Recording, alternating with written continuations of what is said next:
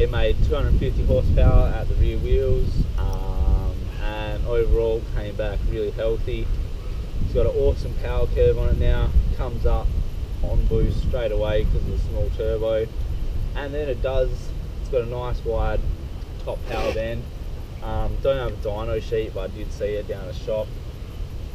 Uh, and yeah, everything just came back real nice and healthy, ready to go. It's tuned to 16 psi and it absolutely fucking loves it. Just laces up first and second, and it, it's it's awesome to drive. It's not it's not the most powerful thing, but it is very quick.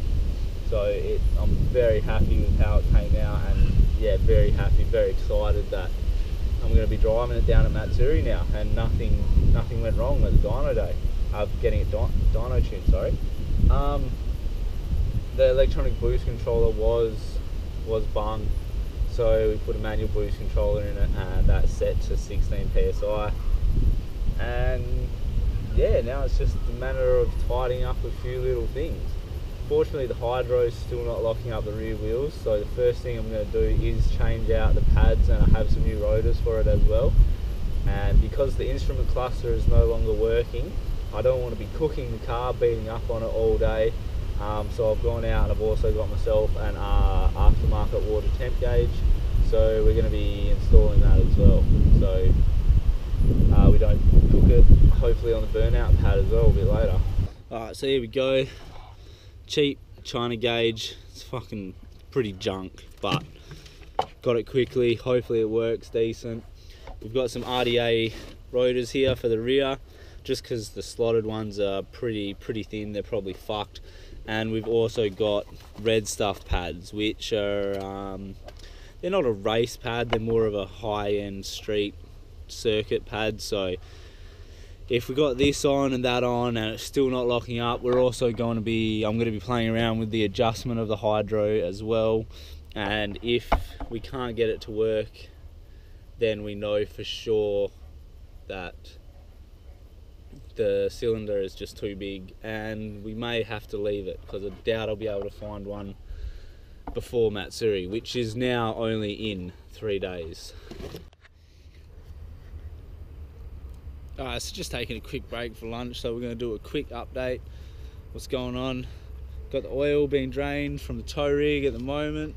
Everything else is up to date, so just a new oil and oil filter for that. Probably give it a wash as well, get rid of all the mud and Salady vacuuming out the interior. Seats clean.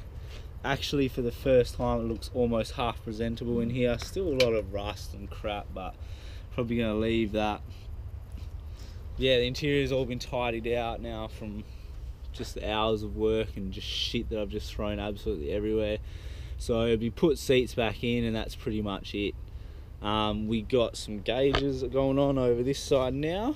Uh, I got rid of the Turbosmart boost gauge and put in this Calibre Calibre one because it's got a cup. So that's mounted there. We've got the the cheap China water temp gauge going on over there. Um, they're both wired up. If I had the keys in the ignition I'd show you. First time I've ever wired up gauges so I'm pretty happy that they both worked. Um, I think I did a pretty decent job there and for the temp sensor, instead of cutting into the hose, I went and picked up a GK Tech uh, water neck spacer and we've got the sensor in there. So that's just curing at the moment. And then yeah, after give it another hour or so, tighten up the bolts, put a bit of coolant back in it and we'll test it out, see how good it is. Um, and then it's just literally put the brakes on, the rear brakes, adjust up the hydro and yeah I think it's I think it's good. I think it's good to go. Oh there's still a quick release and a few other little bits and pieces I want to put on but still I might even have it finished ready to go two days before the event. Not even going to be working on it at the event. That's it's crazy. It's unheard of. So unlike me Alright, just took Silady for a drive, got the quick release on, and it did get a little too hot for my liking, you know?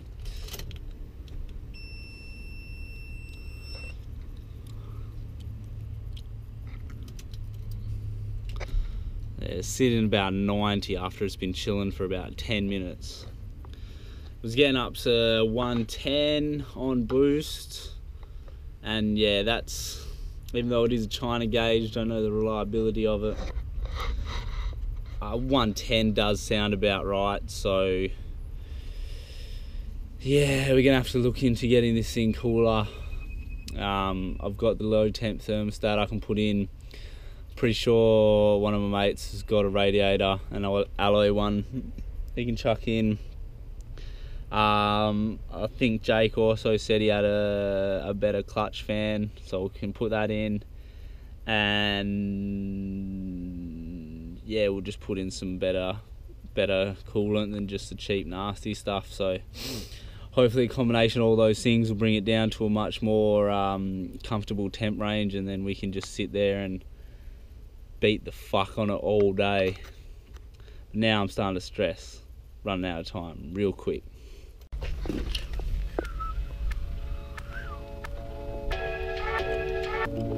Old junk, good new stuff. Old junk, new stuff.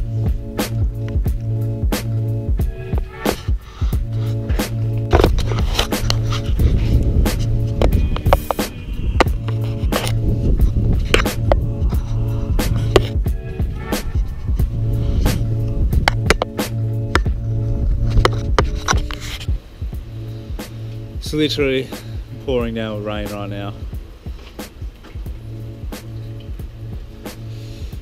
It's two days till Matsuri. And I just don't have time for this shit. I've got stuff to do. Okay, now it's absolutely fucking piercing down. Like, it is fucking piercing down. Really don't have time for this shit. I need a shed. Alright, so we got the brand, not brand new, actually new to me, alloy radiator, 52 mil, Godspeed, picked up off Zahid. I uh, just done a quick test on it. He um, had it sitting outside for a while, so it doesn't look like it's leaking. Although, as you can tell, it is bananaed as fuck and covered in overspray. But apparently even the quality ones are known to banana over time. And here is our Nismo low temp thermostat, 62 degree opening point. Put that in, hopefully car runs a hell of a lot cooler. We'll mix up a super strong batch of coolant and yeah. Okay, old thermostat out.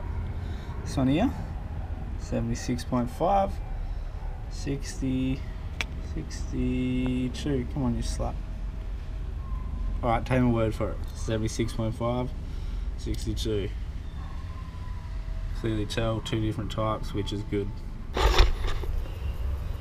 Alright, I'm stressed, man.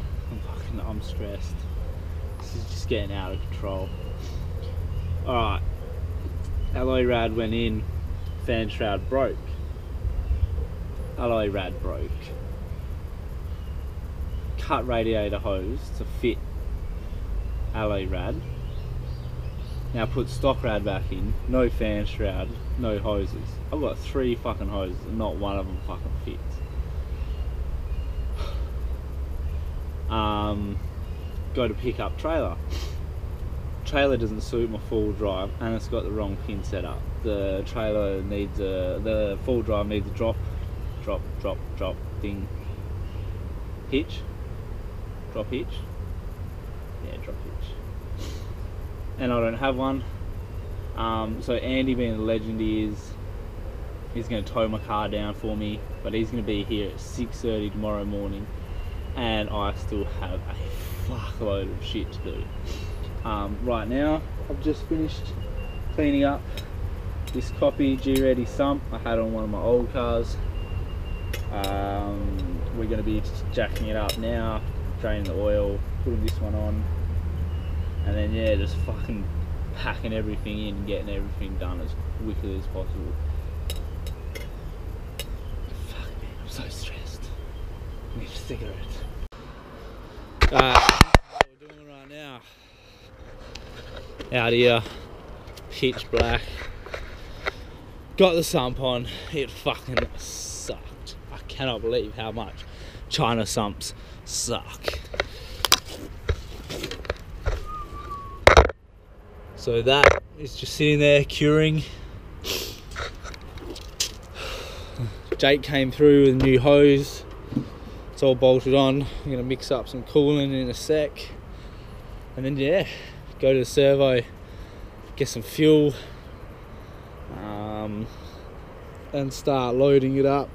Gonna have to be up bright and early to tighten all the sump bolts, fill it up with oil, get it running, make sure nothing's leaking, and give it hopefully a quick check over before Andy even gets here. Whole car's got to be loaded up tonight. Everything's got to be sorted tonight, and then yeah, but it looks like we might make it. Maybe.